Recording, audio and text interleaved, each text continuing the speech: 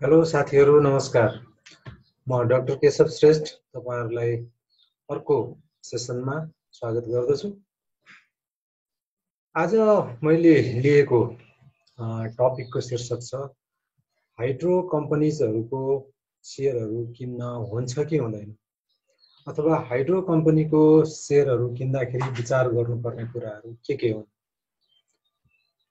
मलाई साथीहरूले सोध्नुहुन्छ पहिला पहिला त हाइड्रोमाको सेयरहरूमा एकदमै आकर्षण थियो। अहिले आकर्षण एकदम घटेर गयो। कतिपय अधिकांश कतिपय होइन अधिकांश हाइड्रो कम्पनीको सेयरहरू सय रुपियाँ अर्थात् फेस भ्यालुभन्दा पनि तल तल झरेका छन्।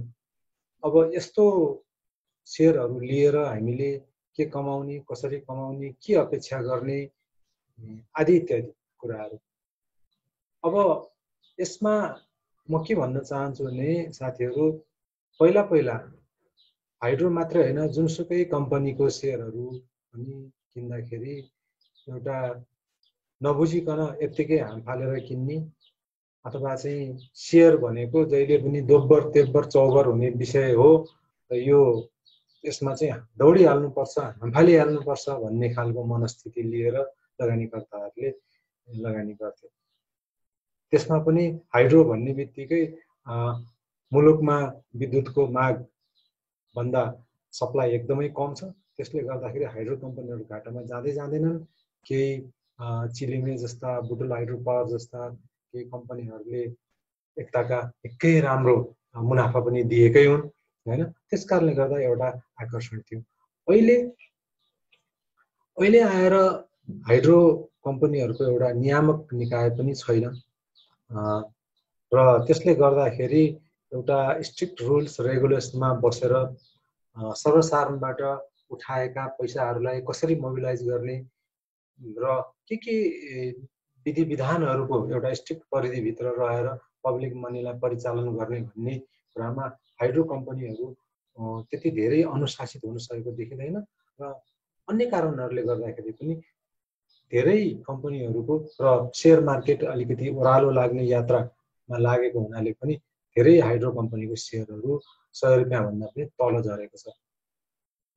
अब यो अवस्थामा अब के प्रश्न उठ्छ भने हामीले हाइड्रो कम्पनीको सेयरहरू अब किन्दै नकिन्ने हो त।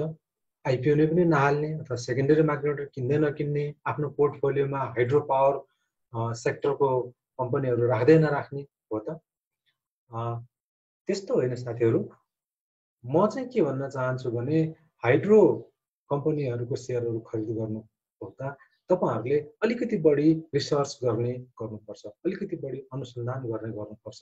अनुसन्धान खास गरी केमा भने अब अरू धेरै कुरामा अनुसन्धान गर्नुहोस् अनुसन्धान गरेर कहिले पनि घाटा हुँदैन। तपाईँले राम्रोसँग बुझेर रिसर्च गरेर लिएको सेयरले तपाईँलाई जहिले पनि उनीहरू विनर बनाउने सम्भावना जहिले पनि बढिरहन्छ र मुख्य कुरा के विचार गर्नुहोस् भने त्यो जुन कम्पनीको तपाईँले हाइड्रोको सेयर लिन लाग्नु भएको छ आइपिओमा होस् अथवा सेकेन्डरी मार्केटमा होस् त्यो हाइड्रो कम्पनीहरूको अहिलेको वर्तमान अवस्था के छ? त्यसको स्टाटस के हो? किनकि एउटा कुरा हामीले के बिर्सिनुहुन्न भने हामीले सेयर भनेपछि हाइड्रो कम्पनीको सेयरलाई पनि उही बैङ्क तथा वित्तीय संस्थाको सेयरलाई पनि उही अनि त्यसपछि गएर चाहिँ इन्सुरेन्स कम्पनीको सेयरलाई पनि उही सेयर भनेको सेयर भन्ने हिसाबले बुझ्छौँ त्यस्तो होइन। ब्याङ्क तथा वित्तीय संस्थाहरू अथवा इन्सुरेन्सहरूको सेयरहरू भनेको हामीले दिएको पैसा आज हामीले सेयर किनेर त्यो कम्पनीलाई पैसा दियौँ अथवा आइपिओ लिएर पैसा दियौँ भने उसले भोलिबाटै त्यसलाई कहीँ लगानी गर्ने ऋण दिने कतै परिचालन गर्न थाल्छ। र त्यसबाट धेरै थोरै भए पनि अर्न गर्न थाल्छ फ्रम द नेक्स्ट डे तर हाइड्रो कम्पनीजको प्रकृति तपाईँहरूले हेर्नुभयो भने के हुन्छ भने हामीले दिएको लगानीकर्ताले दिएको पैसा उसले सबभन्दा पहिला त प्रोजेक्टमा खर्च गर्छ। जहाँ खोला बगिरहेको छ त्यहाँ ड्याम थुन्न थाल्छ सिभिल वर्क्स गर्छ कन्स्ट्रक्सन गर्छ बाटोको ट्र्याकहरू खोल्छ। त्यसपछि गएर सिभिल वर्क्सहरू सकेपछि इलेक्ट्रोमेकानिकल वर्क्सहरू टर्बाइन बनाउने वर्कहरू क्यानलहरू गर्ने सिभिलको वर्कहरू धेरै कामहरू हुन्छ र हामीले दिएको सय रुपियाँ फेस भ्याल्युको सेयरले उसले प्रोजेक्टमा खर्च गर्दै गर्दै गर्दै गर्दै लगेर जिरो अवस्थामा पुर्याउँछ र जब बिजुली उत्पादन हुन थाल्छ इलेक्ट्रिसिटी जेनेरेसन जब हुन थाल्छ त्यसपछि एक्सपेक्टेड के हुन्छ भने अन्य कम्पनीहरूले दिएको भन्दा छिटो रेटमा रिटर्नहरू दिन थाल्छ। यो हाइड्रो पावर कम्पनीको एउटा स्पेसिफिक फिचर अथवा विशेषता हो। यो कुरालाई हामीले विचार गर्नै पर्छ। त्यसकारण यदि हाइड्रो कम्पनीको सेयरहरू किन्दैछौँ भने त्यो कुन चरणमा त्यो आयोजना गुजिरहेको छ अथवा त्यो कम्पनीले धेरैवटा आयोजनाहरू गरिराखेको छ भने कुन कुन आयोजनाहरूमा त्यसको प्रगतिहरू कति पुर्याएको छ त्यसको स्टाटस के छ भन्ने कुराहरूमा सचेत भएर विचार गरेर जानकारी लिएर मात्रै हामीले हाइड्रो कम्पनीको सेयरहरू किन्दा राम्रो हुन्छ। चाहे त्यो आइपिओ हाल्नको लागि होस् चाहे त्यो सेकेन्डरी मार्केटबाट किन्नको लागि होस्। यही सम्बन्धमा आज म तपाईँलाई एउटा मात्र सिङ्गल स्लाइड यहाँ सेयर गर्न गइराखेको छु। हाइड्रो कम्पनीहरूको सेयर चाहिँ कसरी किन्ने है त? अथवा के के कुराहरू के के टिप्सहरू लिएर हामी किन्न सक्छौँ? मैले यहाँ सेयर गरेँ।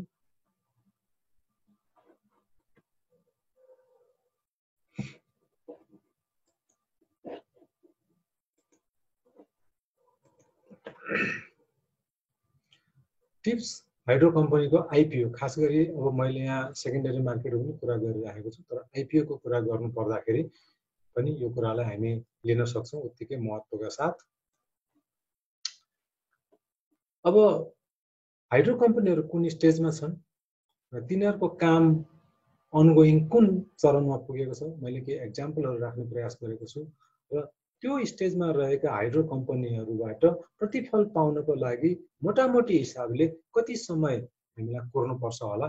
यो मैले गरेको सानो रिसर्च को एउटा समग्र एउटा रूप मात्रै हो। यो मैले ठ्याक्कै यति वर्ष कुर्नुपर्छ भनेर ठ्याक्कै त्यति वर्ष कुर्ने भन्ने हुँदैन। त्यसको कामहरू द्रुत गतिमा अगाडि बढ्न सक्यो भनेदेखि भन्दा कम पनि हुनसक्छ। अथवा चाहिँ विभिन्न कारणले गर्दा चाहिँ आयोजनाहरू सम्पन्न गर्न हाइड्रो पावरको आयोजनाहरू सम्पन्न गर्न ढिलो भयो भने भन्दा ढिलो पनि हुनसक्छ। यसलाई एउटा मोटामोटी हिसाबले लिएको भनेर बुझिदिनु होला। अब एउटा कुनै हाइड्रो पावर कम्पनी इनिसियल स्टेजमा छ मानिलिनुहोस् भनेको के हुन्छ त? भर्खर त्यो आयोजनाको सर्वेहरू भइराखेको हुन्छ। अलिक विकट क्षेत्रमा त्यो आयोजनाको स्थल छ भने त्यहाँ जाने ट्र्याकहरू बाटोहरू ओपन गरेको हुनसक्छ। अनि भर्खरै मात्रै त्यो आयोजनाहरू चलाउनको लागि चाहिँ फाइनेन्सियल क्लोजर कम्पनीले कति पैसा हाल्ने कति पैसा स्थानीय बासिन्दाहरूलाई सेयर दिएर उठाउने कति पैसा बैङ्कबाट ऋण लिने अथवा मोटामोटी त्यो आयोजनाहरू सम्पन्न गर्नको लागि कति पैसा आवश्यक पर्छ र कुन कुन स्रोतहरूबाट जुटाउने जसलाई हामी फाइनेन्सियल भाषामा फाइनेन्सियल क्लोजर भनेर भन्ने गर्छौँ त्यो भर्खरै गरेको अथवा गर्ने चरणमा रहेको हुनसक्छ इनिसियल स्टेजका आयोजनाहरू र पावर पर्चेस एग्रिमेन्ट होइन? यो हामीले चाहिँ नि अब बिजुली त बेच्नु पर्यो होइन? बिजुली खरिद गर्ने निकायसँग चाहिँ पावर पर्चेज एग्रिमेन्टहरू गर्ने चरणमा भएको अथवा भर्खर सुरुवात गरेको अवस्था हुनसक्छ यस्तो खालको इनिसियल स्टेजमा त्यो आयोजना छ र तपाईँले त्यसको आइपिओ खोलेको छ भनेदेखि तपाईँले कम्तीमा पनि पाँचदेखि सात वर्ष वेट गर्नुपर्छ।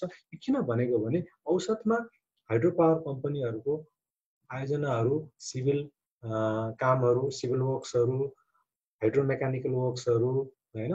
लगायत अरू चाहिँ अब ट्रान्समिसन वर्कहरू सबै एउटा कम्प्लिट भएर इलेक्ट्रिसिटी विद्युत उत्पादन हुने र त्यो बेच्ने अवस्थासम्म आइपुग्दाखेरि चाहिँ पाँचदेखि सात वर्ष लाग्ने गरेको देखिन्छ। र यदि इनिसियल स्टेजमा भएको तपाईँको रिसर्चले त्यो आयोजना इनिसियल स्टेजमा रहेको देखाउँछ भने पाँचदेखि सात वर्षमा पुर्न सक्छु भन्ने मेन्टालिटीमा तपाईँले लिनुपर्छ। अब यो पाँचदेखि सात वर्षको दौरानमा आइपिओ लिस्टिङ त हुन्छ नेप्सेमा लिस्टिङ हुन्छ किनबेच पनि हुन्छ। तर तपाईँले अपेक्षा चाहिँ के गर्नु भएन भने डेफिनेटली यसको क्यापिटल गेन हुन्छ प्राइस माथि जान्छ भनेर लिन चाहिँ मिल्दैन। किनभने मैले अघि पनि भने हाइड्रो पावर आयोजनामा हामीले लगानी गर्छौँ भने हामीले दिएको पैसा उसले प्रोजेक्ट बनाएर सकाउँछ र प्रोजेक्ट कम्प्लिट भएपछि जब उसको आम्दानी हुन थाल्छ तब मात्रै हामीलाई डिभिडेन्टको हिसाबले रिटर्न हुने हो। होइन? त्यसकारण पाँचदेखि सात वर्ष मोटामोटी हिसाबले कुर्नुपर्ने हुनसक्छ। अब कुनै आयोजना स्टार्टिङ फेजमा गइसकेको छ जस्ट स्टार्टेड भएको छ होइन? भनेदेखि स्टाटस के हुन्छ भने उसले आफ्नो सिभिल वर्कहरू काम गरिराखेको हुनसक्छ। बाँध बनाउने काम ड्याम बनाउने त्यसपछि गएर क्यानलहरू बनाउने जहाँ पानीको चाहिँ नि हाइट गेन गराउनु पर्ने हुन्छ पानीलाई ट्राभल गराउनु पर्ने हुन्छ र हेड एन्ड फ्लो मिलाएर चाहिँ गर्नुपर्ने यो सारा सिभिल वर्क्सहरूको कामहरू भइराखेको छ भने चाहिँ तपाईँले कम्तीमा पनि तिनदेखि पाँच वर्ष हाइड्रो पावरबाट डिभिडेन्टको रूपमा रिटर्न लिनको लागि कुर्नुपर्ने अवस्था हुनसक्छ त्यस्तै गरी कुनै आयोजनाहरू मिडल स्टेजमा छ भने त्यसको कामको चरण मोटामोटी कहाँ पुगेको हुन्छ भने जस्तो सिभिल वर्कहरू सकेर इलेक्ट्रोमेकानिकल कामहरूको सुरुवात भएको अथवा काम भइरहेको अवस्था हुनसक्छ जस्तो टर्बाइनहरू को अर्डरहरू चाहिँ दिएको अवस्था हुनसक्छ अथवा टर्बाइन जोडिँदै गरेको अथवा किनेर आउने प्रक्रियामा रहेको अवस्था हुनसक्छ होइन? त्यस्तै गरी जेनेरेसन लाइसेन्स हो त्यो स्पेलिङ मिस्टेक भएछ। जेनेरेसन लाइसेन्स इलेक्ट्रिसिटी उत्पादन गर्ने लाइसेन्सको पनि बिचमा एउटा प्रशासनिक प्रक्रिया पुरा गर्नुपर्छ। त्यो प्रक्रियाहरू पुरा गरेको अवस्था हुनुपर्छ। अथवा त्यो एप्लाई गरेको अवस्था हुनसक्छ अथवा प्रोसेसमा रहेको अवस्था हुनसक्छ। जे होस् यो मिडल स्टेजमा यी कामहरू भइरहेका छन् भने तपाईँलाई त्यस्तो आयोजनाबाट प्रतिफल लिनलाई दुईदेखि तिन वर्ष कुर्नुपर्ने हुनसक्छ। त्यसपछि अर्को स्टेज भनेको आयोजना लगभग सकिन लागेको अवस्था छ। भनेदेखि तपाईँले चाहिँ के बुझ्नुपर्छ भने सबै सिभिल वर्क्सहरू यो इलेक्ट्रोमेकानिकल वर्क्सहरू अरू सबै बनाउने कामहरू सकिसक्यो र ट्रान्समिसन अब त्यो विद्युत उत्पादन भएको विद्युतलाई नजिकको स्टेसन सब स्टेसनसँग लगेर जोड्नु पर्यो अनि त्यो मिटरिङ हुन्छ। मिटरिङ भएपछि मिटरिङ भएको आधारले बिजुली बिक्री भएर त्यो हाइड्रो कम्पनीले पैसा पाउने हो होइन। त्यस कारण ट्रान्समिसन लाइन बनाउने पनि एउटा मेजर पार्टहरू रहेको हुन्छ। ट्रान्समिसन लाइनहरूमा कतिपय ठाउँ वन क्षेत्र परेको हुनसक्छ कतिपय ठाउँ चाहिँ निजी जग्गाहरू परेको हुनसक्छ जग्गा जग्गा अधिग्रहण गर्ने काम त्यस्तै गरी यो वन विभाग वन कार्यालयहरूसँग समन्वय गर्ने कामहरू त्यसलाई पनि टाइम लाग्छ टाइम लाग्छ। तर ट्रान्समिसनको कामहरू काम भनेको हाइड्रो कम्पनीले लास्टमा गर्ने काम हो। र त्यो फेरि सरकारी निकायसँग समन्वय नगरिकन गर्न सकिँदैन कम्पनी एक्लैले चाहेर धडाधड ट्रान्समिसनको टावरहरू बनाउन सक्दैन। धेरै कुराहरू टेक्निकल कुराहरू छन् त्यसमा होइन? तर सबै काम भइसक्यो र ट्रान्समिसनको कामहरू चलिरहेको छ भने हामीले एटलिस्ट एउटा अपेक्षा के गर्न सक्छौँ भने अब एकदेखि दुई वर्षभित्रमा पक्का पनि यो हाइड्रो कम्पनीले प्रतिफल देला भनेर हामी एउटा अपेक्षा राख्न सक्छौँ। अनि त्यसपछि लास्ट स्टेजमा काम भइरहेको छ भने चाहिँ अब ट्रान्समिसन लाइन पनि बनिसकेको छ र टेस्ट प्रोडक्सनहरू चाहिँ हुन थालेको छ।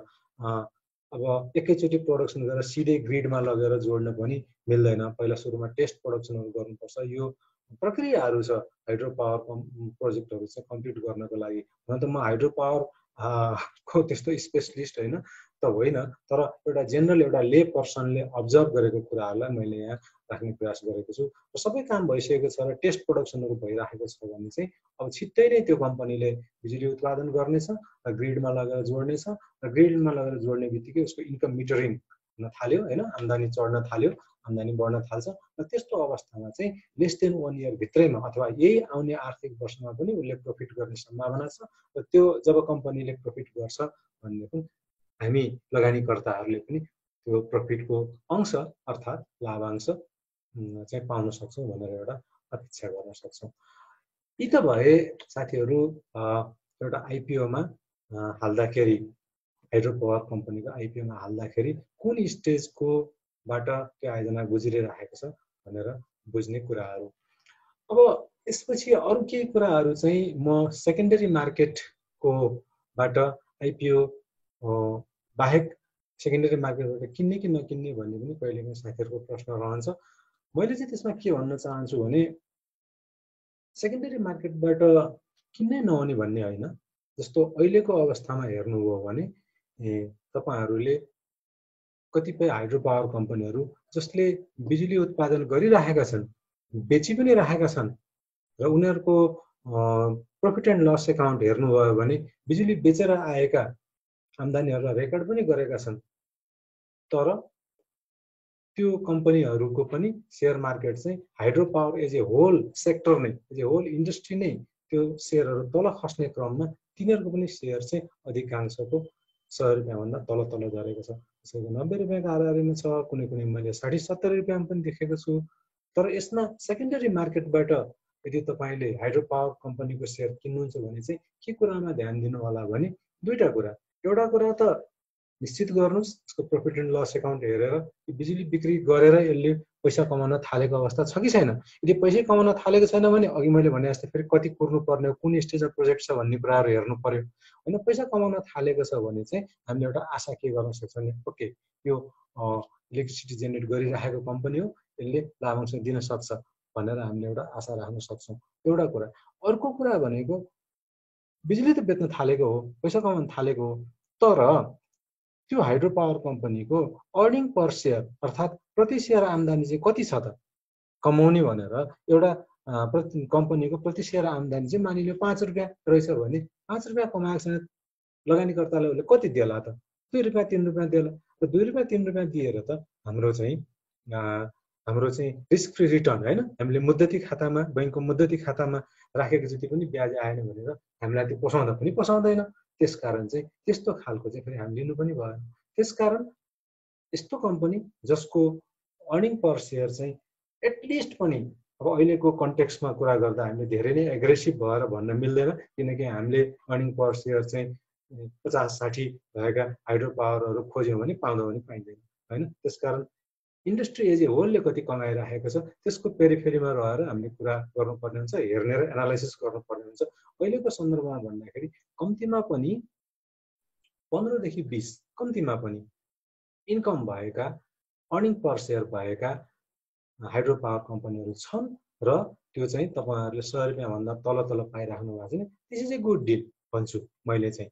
जस्तो मानिलिनुहोस् तपाईँले एउटा कम्पनी नब्बे रुपियाँमा पाउनुभयो एकछिन उदाहरणको लागि। र त्यसले तपाईँलाई दस पर्सेन्ट मात्र रिटर्न दियो भने दस पर्सेन्ट भनेको सय रुपियाँमा रिटर्न हुन्छ भने नब्बे पर्सेन्ट नब्बे रुपियाँमा तपाईँको रिटर्न दस रुपियाँ भनेको चाहिँ यदि क्यास डिभिडेन्ड दियो भने त्यो अझ बढ्न जान्छ होइन त? बाह्र तेह्र पर्सेन्ट पुग्ला वाट एभर हिसाब गर्नुपर्छ।